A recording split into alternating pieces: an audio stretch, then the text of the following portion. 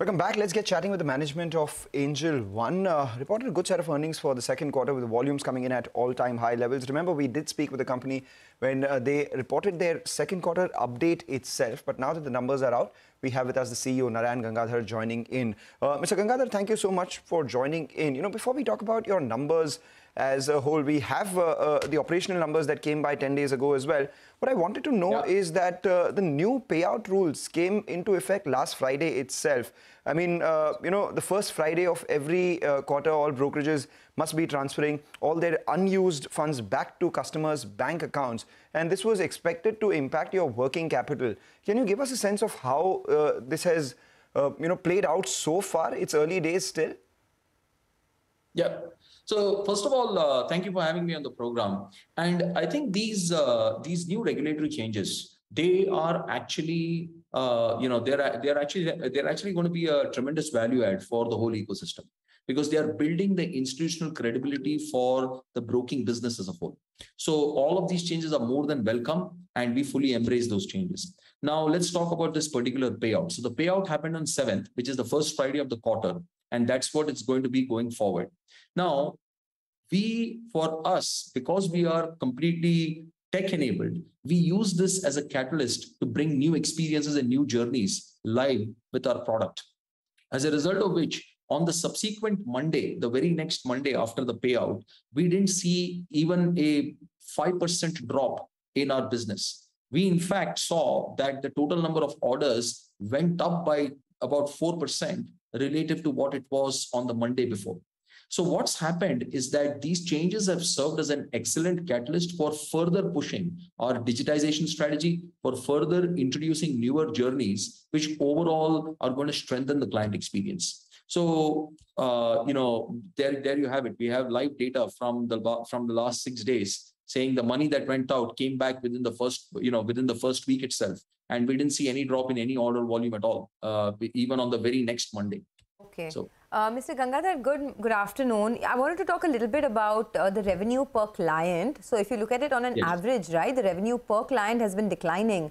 In the quarter gone right. by, you had about uh, 430 rupees per client and way back in Q2 of last year, it was almost 544. Now, I agree that uh, uh, competition is also picking up. But do you see any improvement here or could it get worse before it gets better? See, I think you're looking at the wrong metric. Okay. This ARPU in a commodity business, broking used to be a boutique business. It used to be only for people who are over 35 who have a certain level of disposable income and stuff. You know, today, broking is for masses. Most people who are entering the business today, they are at, uh, they're basically uh, within the age of uh, 25 to 30.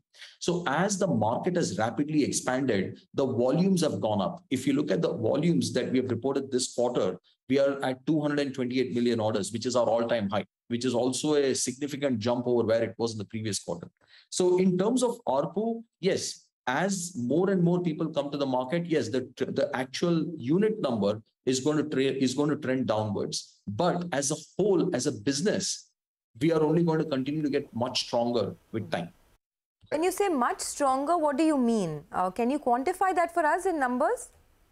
Yeah, I mean, the order volume is going to go up. Our, with economies of scale, what we are seeing is our products are becoming more efficient. Operationally, we run the, you know, we, we have a great opportunity to take out the white space and even operate at much higher levels of, uh, uh, you know, of, uh, uh of profitability, right?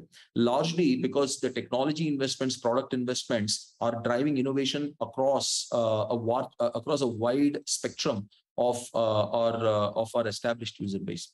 And you know, the way we also look at our top line business, the way I look at it is that see, we want to operate the business within a 45 to 50% OPM. And this for the last three quarters now straight, we have been operating at 52% OPM.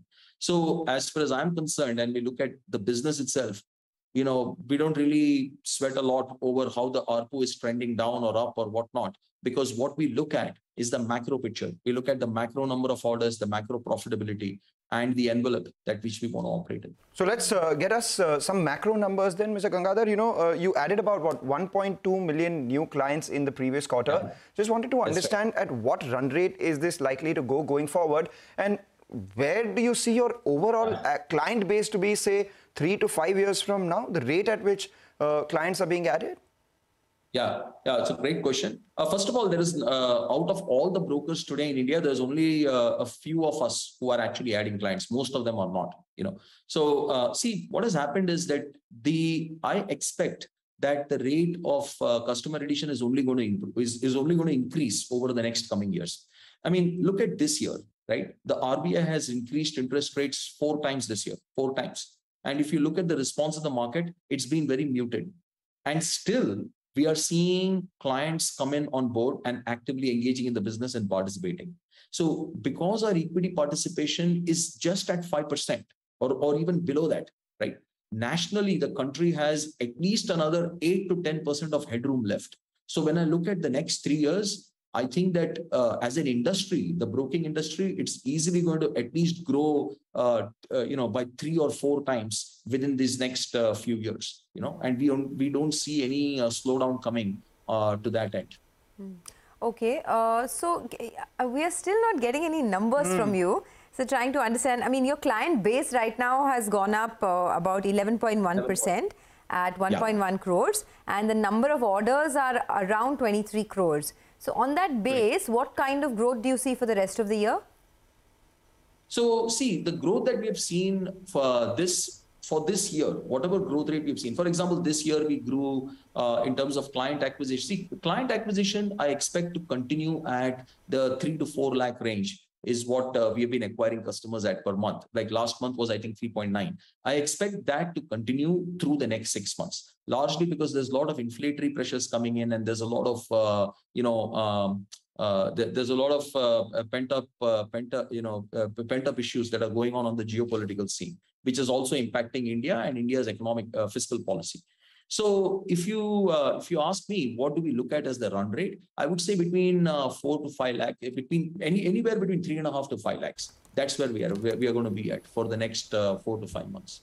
All right, we take that point. Uh, just a quick bookkeeping question before we let you go. Your ESOP cost uh, yeah. was higher in the second quarter than the first quarter. What is uh, the cost that you expect going forward, the ESOP costs? See the ESOP costs again. Uh, we uh, to look at the we, as, as I told you, right? We are looking at the macro level. I uh, I think particularly the ESOP costs are going to be within the range that you have already seen so far. But we are in the growth phase. We are not interested in conserving capital. Just to be perfectly clear, we are a growth company. We care more about where the top line is going and how to get to a pole position. And our metric is to operate the business within a 45 to 50% OPM. Now, within that envelope, whether the ESOP costs even goes up by 2x or 3x, it doesn't really matter because our overall bottom line and top line is going to be maintained for uh, the shareholders and creating further shareholder value. So that's really a macro answer to the question. Micro level, I don't think anything changes within the next quarter or so.